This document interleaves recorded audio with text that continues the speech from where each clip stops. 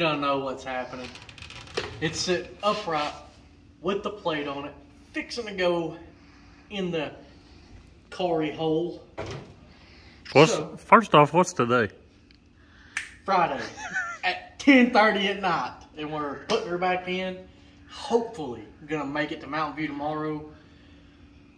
Guys, this has just been a headache this week. hmm We have found a couple of issues. If you don't follow the Facebook page, um, kind of already told everybody what was going on. But if you don't follow the Facebook page at Shadden Motorsports, what happened with the motor was that there was a uh, high pressure, high volume oil pump on the front of this thing, and it basically ate itself. It, uh, we believe that the casing was warped just because of the wear patterns that it chewed. Um, very, very awkward and weird how it done it. That's the only explanation that we can give. Um, Because the metal was but was from the pump to the filter. There was nothing after the filter. There was nothing in the pan. there's Here. nothing up top. Like we took, we took a fine tooth comb and went over everything. Yeah, I pulled the whole motor down. Yeah. So And everything was perfect. So put a new oil pump in it, and the oil pump that they sent us is actually better looking. It looks stronger. The parts inside of it look better. It looks better than the first one. So we don't know what happened. May have got a a weird defect knockoff type deal. We don't know. a second Yeah. something Something got passed through inspection that wasn't supposed to. But nonetheless, we for the second time in a row. The water pump was like that. yeah, the water pump we got before.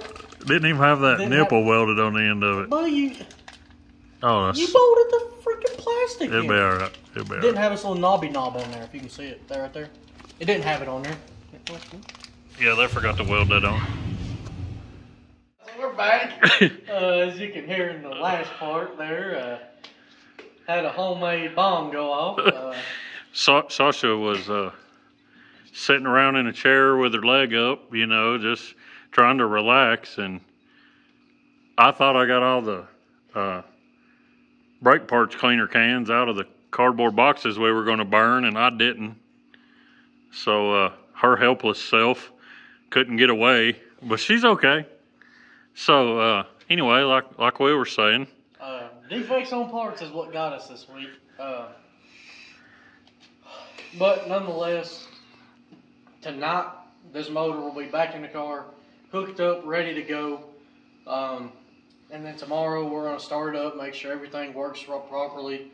Uh, bought a new oil temperature gauge. Uh, well, bought a oil temperature gauge. We didn't have one before, which was obviously a mistake, but it's getting fixed. Uh, that, if anything, when you put in a new motor, especially of this kind, like an LS, oil temperature gauge is non-questionable. Get one. I should have had one anyway. All right. Um, we we see a lot of people running them, but we kind of we didn't run one the whole last time since we've been running the crate, so we didn't even think to think we didn't even think to get one. So, um, but we got one now. We got to install it tonight or in the morning. Um, got to wash it because we got the yeah. Got to fix that quarter where I Somebody decided to be high side rain. yeah where I decided to ride the high side and Yeah. tap the wall. He's now driving an open wheel. Um, so, so now, anyways, that's it for the coverage on it. We're gonna uh, try to get this bad boy back in there and get it bolted down, hook every all the accessories and pumps and stuff like that back up, get a radiator in, fill it full of water. Also, we upgraded from a three blade fan to a six blade.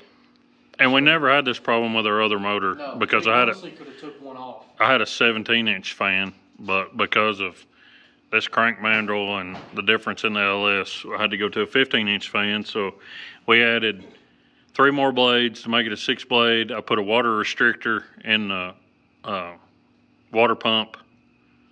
Um, I changed my steam port setup because I believe it had an air pocket in it. So that is literally everything we can do to keep this thing cool. I don't know what to do beyond this point. We're gonna change and check a few things on the carburetor because that is a brand new carburetor that we got for this motor. We're gonna check a few things on it and make sure that what it was advertised is correct. Uh, as y'all seen in the last video, we was changing stuff on the carburetor, and it actually helped it. Uh, so we think there was the information we got on the carburetor when it, we ordered it from Holley, it was a little off and wrong. So we're going to try to look it over tonight or in the morning. Change some jets, put some Yeah. more jet in it. Yeah, and because it, it loved it, uh, which is crazy. I never would have thought that a 4.8 would love as much fuel as this thing's asking for. Like we have got a pretty decent big carburetor on it, and it is asking for more. And we, I'm okay with it. I mean, it's it's crazy, but nonetheless, guys, we're gonna get this thing in the car. So stick around with us, and we will get get you back in the video once this thing's in the car. Quick little thing we was talking about we ended up getting three more blades for this fan. Actually, we did it. Um, don't know who it was. I wasn't there. Uh, somebody called up at PPM and paid for three fans in the hardware kit for Kyle. Three blades. Yeah, three of these blades and three hardware kits for Kyle. Was instructed to give them to me to deliver to Kyle. Uh, we still don't know who it is, but thank you very much. Yeah, Mr. John Doe. I think Yeah. that's what they said his That's name what was. they gave us for the card name was John Doe. So, um, and it, it was a Crossville zip code, is all I know. Um, Yeah, so thank you very much, who- whoever you are. I got a good idea, but I'm not going to shout that out. But thank you very, very much. It it helped us with the offset on having to buy the parts to go through this engine again, and I I really appreciate it. Yep. So, again, thank you. Um, it's people like y'all that make us happy and proud to do what we do here, um, along with all of you viewers. It's just it's great to have the support that y'all have given us over the last year and a half doing this YouTube deal. Um, we just thank you very much, and we just hope and pray you stick around with us as we work through the kinks of this new setup. But anyways, guys, thank you for watching. I hope y'all like the rest of the video, and we give you some great racing content. Thank you. Wait up, huh? Getting sparked up for tomorrow's race. You know what I'm saying? What time is it? It's 12:30 uh, on Friday night. Of course, you just you just seen it. Me saying that it was Friday, but whatever. Uh, yeah, yeah, it's not here anymore. you know, so it's over in the old gal. I, I was just gonna get Hunter to say hi, but my my thing I was headed to was to to show y'all a little tip. Hang on, what you doing there for a second, Hunter? So, don't have to be a pink marker, but pink's easy to see. So, guys that don't like to check their nuts and bolts, or they're hard to get to, um, these oil lines it's real hard to get to them with the headers on. So I'll mark me a line and mark me a line on the fitting. Then you can tell if it backs off. Mark a line, mark a line on down to the fitting. Then if you need to glance at it because it's something you're worried about taking loose, like I'm real worried about these lines backing off. So this will uh, this will ease my mind. Like that one was a little off. So it could be yellow, whatever color you want, but that makes a big old difference in uh, nutting and bolting your stuff when it's hard to get to because my headers fit all right in here and it is super super hard to see those things and get a wrench in there on them with the header on. So, just wanted to share that. Look at Hunter working hard.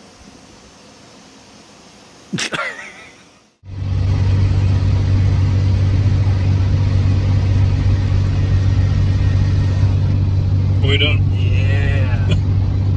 Y'all don't know where we're headed. That's right. You see the little trailer right there. Headed to Mountain View Raceway for the third uh, Lucky Seven Points race. Uh, missed the last one and finished fifth in the first one. We're now 10th in points. I don't know how far up we're going to be able to go, but we're going to be here for the rest of the year, hopefully, if nothing goes wrong. Um, got the car back together at about mm, four o'clock today. So yeah, we're uh, heading here. Gonna unload the car, get up to tech, and sign in. And, uh, See if it'll stay together. yeah, I mean that's that's literally all I have at this moment because I don't. I mean, first race of the season 3.0 right here. Uh, we're gonna uh, gonna leave a lot of the car the same because it was really good for us last week in the feature, as y'all can see, until some engine mishaps came to be. Uh, car's really good. It was fast, just against some stout competition. So, well, these bumps are making me run out of breath. It's not a GMC. I'll just tell you that. If it did, I'd have heated seats. Air conditioning seats. Okay, yeah, I miss that. it's 102 degrees out here, so. Yeah. But nonetheless, uh, we're gonna pull in here, get the car unloaded, get everything ready, and uh, we will see y'all later in the video. Stick around. We'll show you some, hopefully, some good racing tonight. We're supposed to hot lap qualify, and then we'll feature. So we'll see how it goes.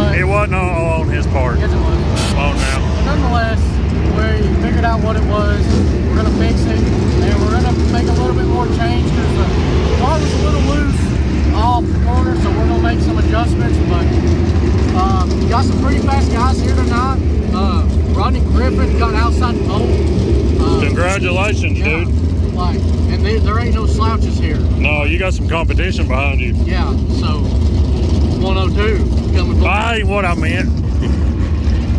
But nonetheless, uh, good job to him.